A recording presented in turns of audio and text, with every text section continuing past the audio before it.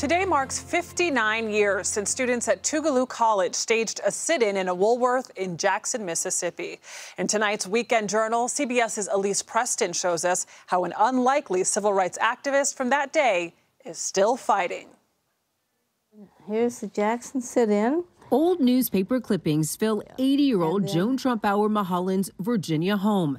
The headlines brought America's battle for racial equality to the world and kept those fighting for it safe. If you were going into a town, from the clippings you could find out who you needed to contact. Now they tell the story of this grandmother who participated in nearly 50 demonstrations during the civil rights movement and was arrested about a half dozen times while she was a white student at a historically black college, Tougaloo in Mississippi.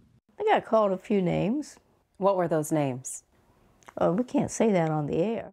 Her son Loki says during her time in the civil rights movement, as a white Southerner, Mulholland was called a race traitor who agitated good society. And not just white, a white woman. A white woman. Why is that so important?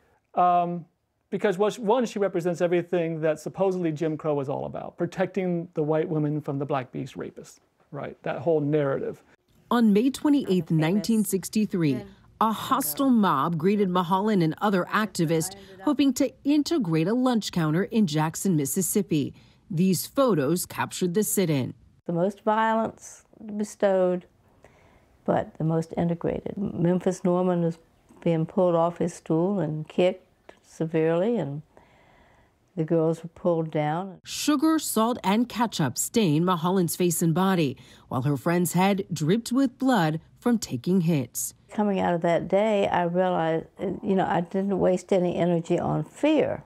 Fear will paralyze your brain and keep you from knowing what you need to do to stay as safe as possible.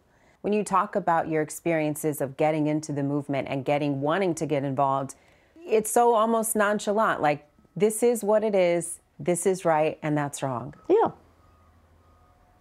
It just seems a Christian thing to do. She is still doing the work. The Joan Trumpauer Mulholland Foundation provides diversity training and HBCU scholarships.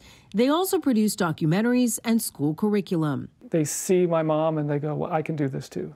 Mulholland says there is a lot more to do. Because we don't have an equitable society, and the way we discriminate or separate people today may be different but it's still not treating people like we want to be treated. Elise Preston, CBS News, Arlington, Virginia.